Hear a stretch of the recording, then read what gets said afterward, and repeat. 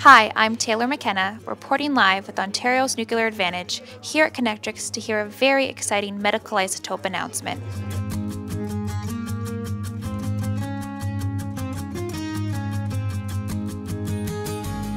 All the folks that are here, I want to say thank you. Thank you for everything that you're doing each and every day to help us generate electricity here in Ontario, but also to propel us in our stature as a world leader in isotope production. When we talk about cancer and we talk about the diagnostics of cancer and the treatment of cancer, the thing that fuels that is medical isotopes.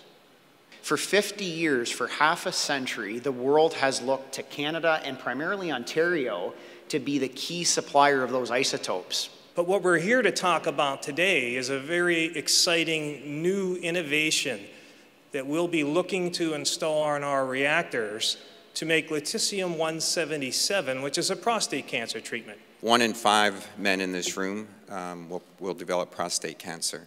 And of those, 15% will have it metastasized and, and will perish from it. So you think about those odds, you spread that across North America, and we're talking about at least 35,000 deaths per year from, from prostate cancer. And so here we are now to introduce a medical isotope that could save those lives. But it's more than that. It is also the long-term operating horizon through to 2064 that gives us all the confidence to invest tens of millions of dollars in these new ventures, creating new jobs. So this is the reason we're here today. Four companies working together to create medical isotopes that will save lives, create jobs, increase prosperity in Ontario, made possible only by the Ontario government's long-term vision for nuclear power in Ontario. Number one selling feature of Ontario are folks like yourself.